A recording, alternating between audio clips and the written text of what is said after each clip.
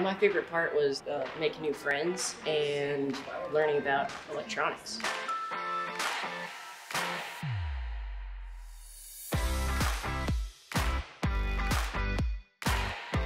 I really liked the challenges that they did.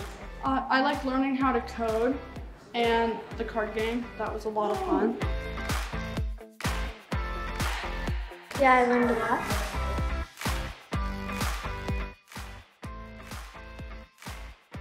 My favorite part of this week was coding the LEDs.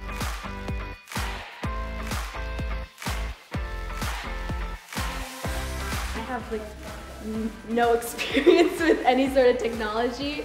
So being able to build my own computer and being able to use it was really cool.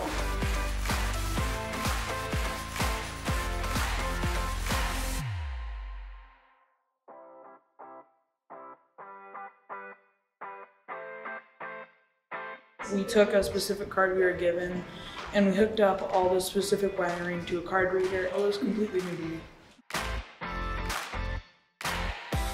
Favorite part of summer camp was probably like eating food. I like food.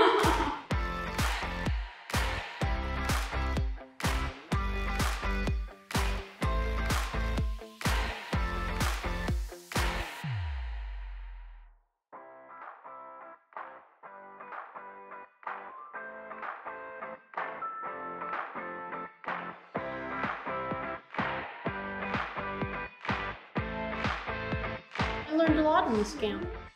I definitely think everybody should try it. Like even if you don't want this as your career, it's just awesome to know.